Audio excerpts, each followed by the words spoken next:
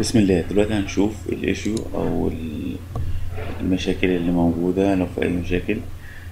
هنا تقدر تعمل search تقول له مثلا عايز المشاكل اللي متحلتش هنا يجيب كل المشاكل كل ال issues أقول له أنا عايز المشاكل اللي لسه متحلتش أنا عايز أفلتر بالايميليت issue بال اللي اتعملت من خلالي الحاجة الخاصة بال architect ممكن أعمل search برقم ID معين ال description. بال company اختار اسم الشركة اللي أنا عايز أشوف ال issues اللي منها. ال location تقدر تختار مثلا حاجات خاصة بال floor 2 أو 3 زي ما أنت عايز. كده هيدور في ال floor 2 و 3 و 4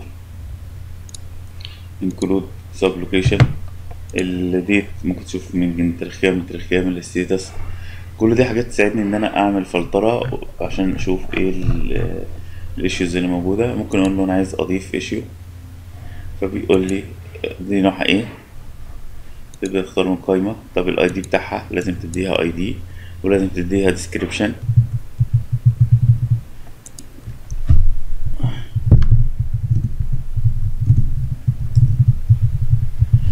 وال root cause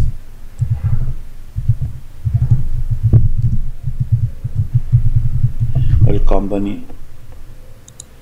طبعا لما بملى الحاجات دي بيبقى سهل جدا إن أنا أعثر على المشاكل بعد كده. ال status open التاريخ ال location ال tag specification بعد ما بدخل كل المعلومات ديت بعمل attachment لملف أو library أو link أو كاميرا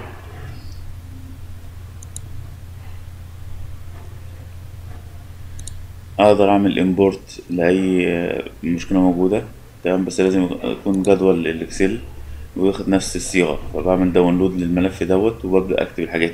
يعني لازم تكون أول خانة في ال ID تاني خانة في ال description تالت خانة في الشركة priority وهكذا. طيب لو أنا عايز أعمل حاجة شكل معين أو كده فهاجي هنا في ال project admin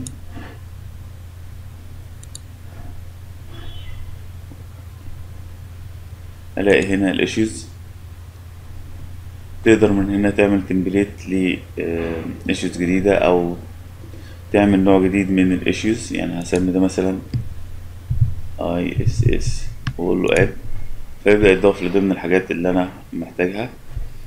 ودي ال standard الحاجات الأساسية بتاعتنا. ده ال custom properties تقدر تضيف أي واحدة فيهم. ال root cause تقدر برضو تضيف القائمة بتاعتها. template تقدر تقول له أنا عايز أعمل group وتحملها من على النت. ده مثلا ال drywall هتلاقي دي السبع حاجات اللي موجودة جواه. تقدر تقول له أنا عايز أضيف template هيقول لك اديله ال description بتاعه. ال company تبع any company ال specs reference ال tag وهكذا. وتقول له add issue template بحيث تقدر تستخدمه بعد كده يظهر معاك هنا.